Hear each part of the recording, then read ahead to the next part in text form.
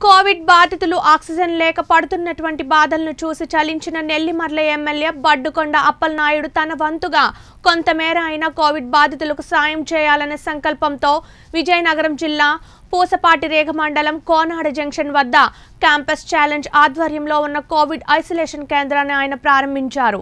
అనంతరం ఆయన మాట్లాడుతూ కరోనా వచ్చిన వారు భయపడకుండా మనోధైర్యంతో ముందుకు సాగాలి అని ఆయన హితువు పలికారు. సంస్థ సహకారంతో కేంద్రంలో ఇరవై పడకలు ఏర్పాటు చేసినట్లు తెలిపారు. ఈ కేంద్రంలో ఆక్సిజన్తో పాటు పౌష్టిక ఆహారము మందులు సరఫరా చేయబడినని అత్యవసర పరిస్థితుల్లో మెరుగైన వైద్యం కొరకు వెళ్ళడానికి అంబులెన్స్ సౌకర్యం ఏర్పాటు చేశారని చెప్పారు.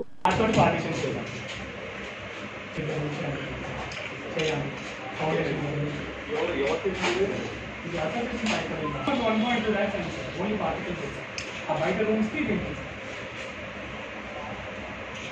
ఈ అల్యూమినియం కన్నా ఇది చీప్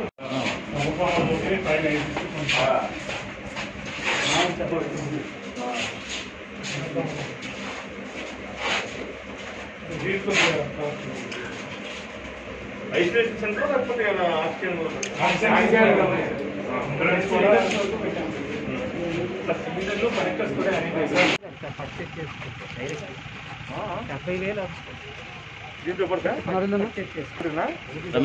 దాంతో పాటు ఇది కూడా ఉంటుంది సార్ కిట్ రెగ్యులేటర్ రెగ్యులేటర్ ఒకటే ఇస్తారు చిన్న బాక్స్ లో వస్తుంది డబ్బు కూడా రెగ్యులేటర్